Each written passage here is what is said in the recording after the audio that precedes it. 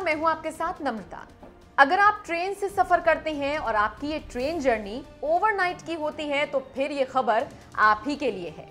अब अगर आप रेल यात्रा की सोच रहे हैं तो घर से अपना मोबाइल, लैपटॉप या फिर दूसरे इलेक्ट्रॉनिक गैजेट्स को 100 फ़ीसदी चार्ज करके ही निकलिएगा। अगर आप ये सोचकर निश्चिंत हैं कि ट्रेन में चार्ज कर लेंगे तो आपके साथ धोखा हो सकता है। अब अगर आप ये सोच रहे हैं कि हम ट्रेन के खराब चार्जिंग पोर्ट की बात कर रहे हैं तो नहीं, ऐसा नहीं है।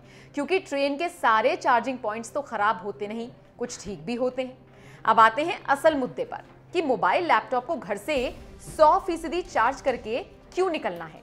असल में भारतीय रेलवे एक नया नियम लाने पर विचार कर रही है। इस नियम के मुताबिक ट्रेन में रात 11 बजे से सुबह 5 बजे तक चार्जिंग की मनाही होगी। अब आप सोच रहे होंगे कि मनाही से क्या होगा? हम कौन सा सारे नियम फॉलो कर रहे हैं जो इस नियम का पालन करेंगे? भारतीय रेलवे को भी ये बात पता है कि कोई भी यात्री इस ऊट पटांग नियम का पालन नहीं करेगा। इसीलिए तो रात 11 से सुबह 5 बजे तक ट्रेन में चार्जिंग इलेक्ट्रिसिटी सप्लाई बंद रहेगी। रेलवे के एक सीनियर अधिकारी ने न्यूज़ एजेंसी को बताया कि वेस्टर्न रेलवे ने 16 मार्च से नया नियम लागू कर दिया है। अब सबसे बड़ा सवाल जो आपके दिमाग में कौंद रहा होगा कि आखिर ऐसा क्या हुआ कि ये नियम लाने की ज़रूरत पड़ गई?